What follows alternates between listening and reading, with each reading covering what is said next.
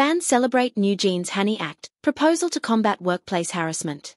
On November 26, South Korean media outlet Women's Newspaper reported that Representative Jeong Hye-gyeong of the Progressive Party proposed the New Jeans Hanni Act, a partial amendment to the Labor Standards Act.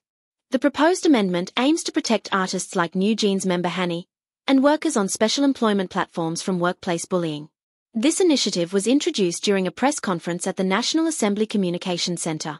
Fans of New Jeans have shown strong support for the proposal of the New Jeans Hanni Act. They quickly reacted online, celebrating the proposal.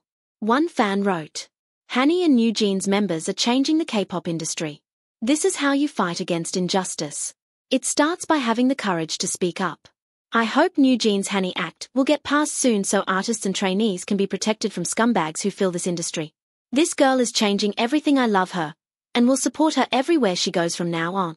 Mind you in the middle of a smear campaign by brain-dead fandoms, she still did that. People forget what that much hate can do to someone's mental health. Thank you, Hanni. Let's put away the Stan Wars for a second, and appreciate the only good thing to come out of this insane crazy hot mess. Idols are people too. This is huge I hope it passes man so many artists would be protected. Because of it ESP in light of everything that's happening to Mad and Gay and this is a game changer.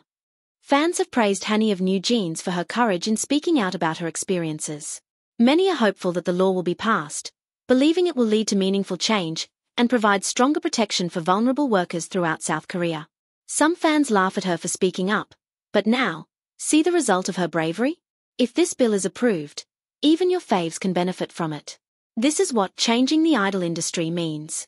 Now, say thank you to Hanni. Now this is how you make history and make a change. Proud of Hanni and the girls for their bravery these past months. It takes incredible courage to stand up to conglomerates and fight for justice. They're cementing their legacy as true changemakers. My girls, making history. Hanni will go down in history as the one who actually changed the K-pop industry. Representative. Jeong proposes amendment to protect artists and non-traditional workers from workplace bullying after Hanni's testimony. Representative.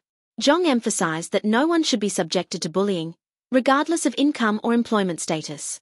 She stated, regardless of whether the income is high or low, or whether the relationship is EMP lowement or contractual, no one who works show ULD be bullied by their superiors or others at work.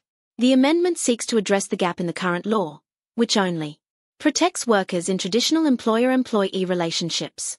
The proposal was prompted by a recent case involving New Jeans member Hanni, who had testified at the National Assembly Audit and Inspection of the Environment and Labour Committee about experiencing workplace bullying. However, the Ministry of Employment and Labour ruled on November 20 that Hanni was not eligible for protection, as she is not classified as a worker under the current law. Representative Jeong Ji highlighted that many workers, especially in special employment relationships, are left unprotected under the current legal framework. Not only Hanni of New Jeans, but many people who are still working are not protected by law. This is because the current law only prohibits workplace bullying in the relationship between employers and employees, she added. The proposed amendment includes provisions to protect labor providers and artists. It also requires businesses to take measures in cases of harassment by third parties. The amendment introduces penalties for perpetrators and employers who fail to take appropriate action against workplace bullying and harassment. This change aims to extend legal protection to a wider range of workers, and ensure a safer working environment for all. What are your thoughts on this?